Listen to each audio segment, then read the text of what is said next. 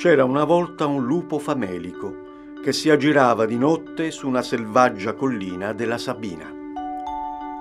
Alla vista di una stella luminosissima, trasformò il suo ululato in un canto dolcissimo e mansueto. Per questo evento prodigioso, famiglie di pastori ed altre genti si stabilirono in quella zona e il lupo visse con loro per lungo tempo in armonia. In molti paesi, qui nei dintorni, si racconta di quel lupo, così grande quanto buono. La leggenda vuole che a Piedilupo è passato, a Cantalupo ha cantato, a Morlupo è morto.